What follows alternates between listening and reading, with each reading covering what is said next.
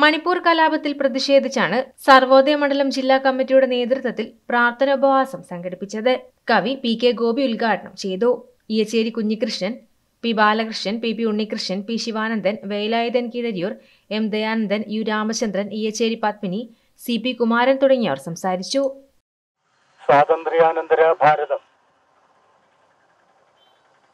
ആഘോഷ തിമിർപ്പിൽ അമരുമ്പോൾ ഡൽഹി ആലക്തിക ദീപ ശോഭയിൽ ആറാടുമ്പോൾ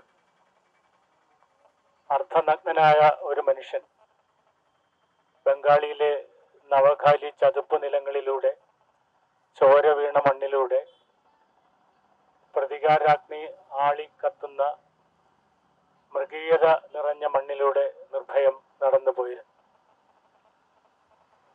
ആ മനുഷ്യന്റെ മനസാക്ഷിയിൽ ഒരേ ഒരു ധീരതയെ ഉണ്ടായിരുന്നുള്ളൂ.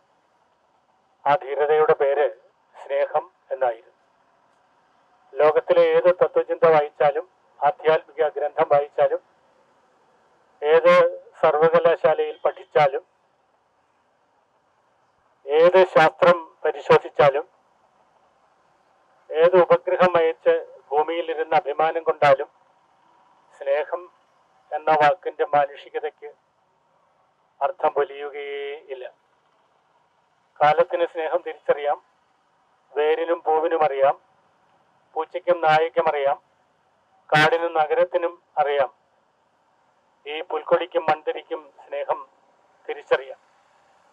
ഒരുപക്ഷെ സ്നേഹം തിരിച്ചറിയാൻ പോകുന്നത് തിരിച്ചറിയാതെ പോകുന്നത് മനുഷ്യരായിരിക്കുമോ എന്ന് സംശയിക്കേണ്ട ഒരു വർത്തമാന കാലം നമ്മുടെ ഇടയിൽ പതുക്കെ പതുക്കെ പത്തിവിരിക്കുന്നുണ്ടോ?